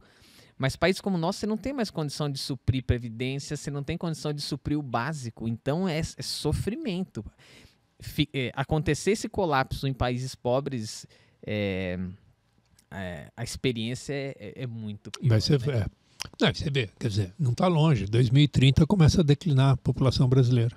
Uhum. Imaginou? Quando é 2030? Daqui a tá. seis anos. É? Começa a declinar a população brasileira. Isso que acontecia, a gente ouvia falar, né? Lá no Japão, lá na Europa. Não. Aqui. Em seis anos vai estar acontecendo aqui. Né? Então são mudanças, né? São mudanças e e isso tem, tem implicações. E daí, quando a gente olha essa juventude nossa, né, fala, cara, tem tantas oportunidades. Esse número que você falou, né, que a população universitária brasileira, lá tangenciando, ela bate em 18%. Né? Uhum. Foi o número que você é falou do IBGE. Formado. É real. Uhum. Né? Então, o pessoal que está no ensino superior e concluindo, uhum. né? de 18 a 24 anos. Tá? Sabe quanto é isso na, Coreia do Sul? Não tem o um número. 99. Uhum. Uau. Todo mundo. Quando é isso no Japão? Mais que 90. Quanto é isso, tá? Nos países do primeiro mundo, acima de 45. Quanto é isso na América Latina? Na Bolívia, 45. Argentina, mais que 40. Então, nós temos uma bomba atômica educacional aqui no Brasil. Isso, esse número que você apontou é um, é um desastre histórico. Sim. E uh, tá. um pouco além, assim, eu acho que a gente ainda mira nos exemplos, assim, não vou dizer errados, porque tem muito que se admirar também de muitas coisas que são feitas, mas nos Estados Unidos, é, 62% da população não tem formação superior. O superior. E a gente toma os Estados Unidos como exemplo para tanta coisa. e tá, tá passando no nosso ponto cego países, né, como você mesmo falou, dos Bálticos, é, né? É. Ou a própria, o próprio Oriente, né? A própria é. Ásia. Então, tá, assim, tá ainda. De, da gente buscar referências, começar a beber de fontes diferenciadas, assim, pra gente poder ter lições diferentes daquelas que a gente vem já tendo ao longo do tempo, né? É. E não tem um movimento que é, de certa forma, soma um pouco para isso, porque eu tenho, tenho alguns intelectuais americanos que abandonaram a faculdade. Bill Gates. É, né? Tem o Bill Gates, tem o Zuckerberg. Steve Jobs. Tem, tem uma né? fala é, muito boa do, do, do Cortella. Do Cortella né? diz que Você o, quer abandonar, mas tipo, abandona tipo, adolescente, Harvard. É, O adolescente chega assim, pai, vou largar a faculdade. Mas como assim? Não, vou largar, porque, meu, o Bill Gates largou, não sei o que. Ele falou, então tá bom. Então quando você chegar em Harvard, aí você, você abandona. Harvard. Aí eu te apoio. Eu, eu, eu acho, eu acho que é interessante. Hoje eu tenho falado para o jovem, em geral, o seguinte, falo, olha, a faculdade não é mais um lugar para você aprender coisas. Uhum. Como assim? Não é, cara. Você quer aprender? Quer adquirir conhecimento? Entra na internet. Tem toneladas, muito mais do que na, em qualquer faculdade. Mas e deve, eu devo fazer faculdade? Deve. Mas, cara, você é maluco? Como assim? Deve. Sabe o clube social? Uhum. Sabe o clube que você vai para ver os amigos, clube que você não, vai. Achei que era bolachinha. É, não, pode eu ser, pensei. pode ser o clube. Desculpa. Eu já estava aqui. É, já estava pensando. Não. O clube social, sabe lá, você vai na hípica para ver os amigos, para jogar beach tênis, para isso. A faculdade hoje, ela tem o papel de ser um hub. É. Tá? Uhum. É o lugar para você. Você vai encontrar as pessoas ligadas a um segmento. Pode ser até que você troque, adquira conhecimento. Mas é o lugar onde as empresas vão procurar profissionais. Uhum. É o lugar onde você vai achar pessoas que possam te inspirar uhum. naquela área. É o lugar onde você vai ouvir de gente que se deu bem daquela maneira. É o lugar onde você pode trocar experiência. Agora, uhum. principalmente, hoje mais do que nunca, o que faz a diferença não é a faculdade, é o aluno. Então, eu oriento assim para o meu, pro meu mentoriado, falo, cara, se entrar na faculdade, primeira coisa você vai ver se tem iniciação científica, ver se tem estágio, ver se tem qualquer coisa, se tem atividade acadêmica, esportiva, qualquer coisa, porque você está entrando num ambiente que mudou todo mundo, você não tem mais amigos. Então se socializa, entra para a banda, entra para o time de basquete, entra para qualquer coisa. Depois você vai largando aquilo que você não. Mas para você recriar uma rede de relacionamentos.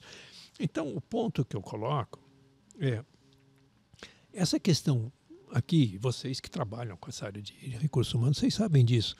Você não ter mão de obra né, ou capital intelectual qualificado, desenvolvido, empobrece muitas oportunidades para as empresas. Uhum. Não é só de carreira, é para as empresas. Falei, minha, minha filha está tendo que contratar duas mil pessoas, entre elas engenheiros que entendam de, de, de solda. Não tem no mundo para ir morar no norte da Suécia, para ganhar bilhões. O cara morar, ser, né? É, seis meses na neve. Então, sabe onde ela está achando esses caras? Ainda tem um problema, que, que é não falar inglês correntemente, vai ter que ter uhum. aula de inglês. Ela está achando essa gente aonde? Na, na indústria petrolífera da, Petruela, da Venezuela. A crise econômica da Venezuela está liberando esses caras. Esses caras estão perdendo emprego, mas são altamente qualificados para dar um banho de, de língua inglesa. Esses caras dá para usar lá. Então, o ponto é: talvez hoje, para o jovem, a gente antecipar um pouquinho. Quer dizer, e já no ensino médio, tem possibilidades reais de ele experimentar alguma natureza de trabalho Talvez o que você brincou de fazer o cartão lá quando você estava no primeiro emprego, lá no. Como é que chama? Não, eu estava antes, era moleque, antes, em casa, moleque. primeiro computador. É. aí que eu comecei a. Né? Uma experiência empreendedora.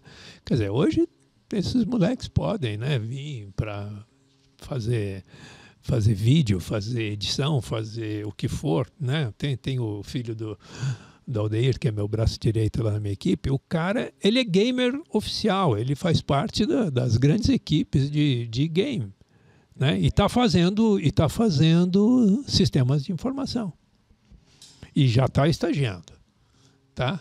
Mas é gamer, né? E o pior é que é um esporte oficial, é gamer. Os caras querem fazer Olimpíada agora. É, querem Hã? Vai ter? É, e é legal, e é legal, né? Então tem, tem formatos. Então fala assim, quer fazer superior? Faça, faça. Eu quase faz tecnólogo. Sabe, conhece tecnólogo, né? A ideia de tecnólogo aqui tem. Tecnólogo é, é, algum curso derivado de administração de contábeis, e tem, mas tem tecnólogo em outras áreas. Você faz em dois anos. Uhum. Faz um tecnólogo de TI. Gostou? Legal. Então vai, faz. Fez um dia agora mesmo, um, um mentoriado meu, é, fez um, um, um tecnólogo de logística já se empregou, já está atuante, já está forte. Você pegar essa região nossa aqui, logística, é altamente demandado. Né? E agora ele está fazendo o quê? Está fazendo um complemento, está fazendo o bacharelado de administração, só para cumprir, para pensar, mas nem para fazer pós-graduação ele precisava, só que o tecnólogo já era suficiente. Então ele aprendeu uma habilidade, pôs em prática, isso alavancou a empregabilidade dele. Tá bom, agora ele quis fazer a administração só para completar o currículo dele. Ok tudo aquilo que ele fez foi útil. É validado. Ele só precisa fazer os dois anos complementares. E assim, então, esses formatos, acho que, por exemplo, hoje, se você pegar dos cursos da área de business, 90% dos alunos são de tecnólogos, não são de bacharelados. E eu acho isso muito bom, porque é um acelerador de carreira. Uhum. Entendeu? Então, mais rapidamente, né, mais rapidamente você sabe se gosta ou não gosta, não gosta, é mais, o custo de oportunidade para eventualmente mudar é mais rápido. Né? E, e, e, é eficiente, não, não dá aquela parada como a gente estava falando dos bacharelados, da federal, que demora, depois de dois anos você tem que começar tudo de novo, não aproveita crédito, nada. Então, passa a ter mais sentido. Tem alguma coisa? Não é. Não. Aqui não. Ah, é o meu. Ah, não. É o meu, desculpa. É o meu. o celular vibrando, tá vendo? Eu tô vendo que ele tá ali e tal. Falei, é, tem mensagem. Não, aqui. é o meu. É, era o meu despertador aqui. Carlito, o que é que você veio aqui para dizer e a gente não te perguntou? Teve algo? Teve, Emerson, pelo amor de Deus. Aqui são 64 anos de história, meu amigo. Você não perguntou muita coisa. É, é começou, você demonstrou sua, sua gentileza, porque são 65 e outubro 66.